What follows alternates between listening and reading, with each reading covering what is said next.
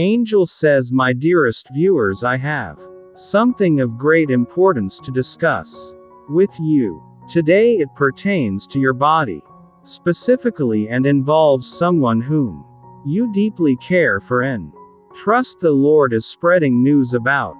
You and your physical being, I understand your curiosity, so please stay with me throughout this video. All the answers you seek are concealed within each segment. Let us delve into this message, which focuses on the remarkable vessel that carries your magnificent self, your body. This is not a light subject, as it concerns someone you love and trust, so let us converse about it, and it will serve as your guiding light throughout this video. Please subscribe if you are prepared for this journey. Angel says, Dear child, I know you are eager to uncover the truth, and I do not want you to miss a single detail. Watch the entire video from beginning to end, and you will discover the answers you seek in every moment. It may be an emotional express experience, but I am here to assist you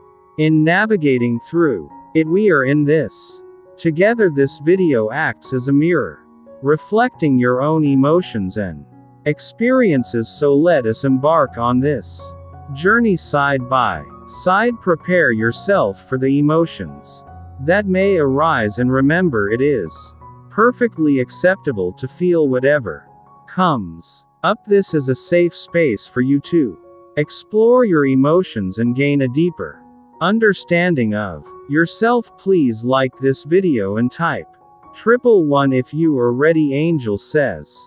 My dearest viewers please do not skip this video as I have something of great importance to share with you.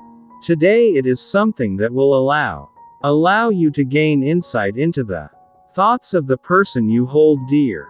Even when you are not present pay close attention for this is all about how this special individual perceives you, the person who holds your heart, has been speaking about you, particularly in regards to your physique. It is crucial that you are aware of this as it reveals their truth.